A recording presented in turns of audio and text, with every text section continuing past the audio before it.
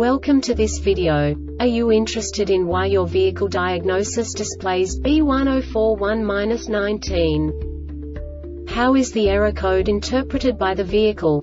What does B1041-19 mean, or how to correct this fault? Today we will find answers to these questions together. Let's do this. First, let's look at the history of diagnostic fault code composition according to the OBD2 protocol, which is unified for all automakers since 2000.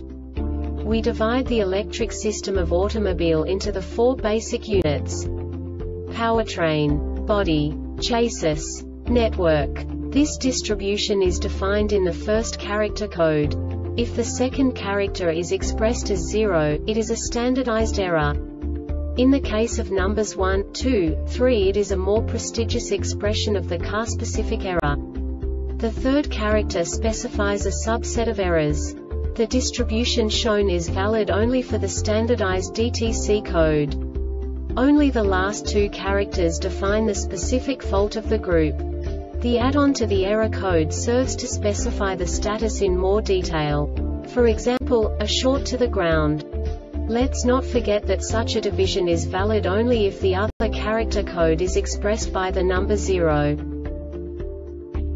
Our website airbagreset.sk produces useful videos for you. You do not have to go through the OBD2 protocol anymore to know how to troubleshoot any car breakdown. You will find all the diagnostic codes that can be diagnosed in a Fiat vehicles. Also many other useful things.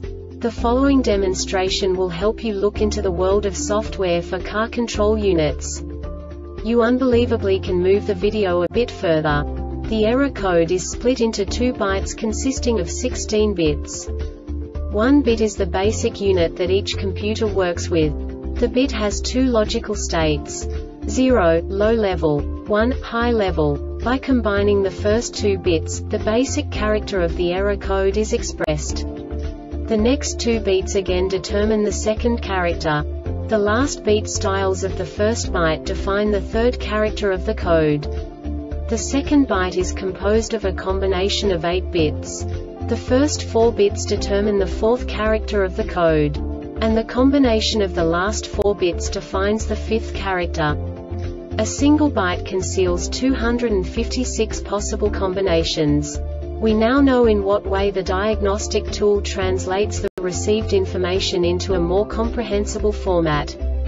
The number itself does not make sense to us if we cannot assign information about it to what it actually expresses. So, what does the diagnostic trouble code B1041-19 interpret specifically Fiat car manufacturers? The basic definition is front wiper relay second speed circuit current above threshold. And now this is a short description of this DTC code. When the body control module BCM detects greater than expected current draw on the front wiper high-speed control output circuit. This diagnostic error occurs most often in these cases.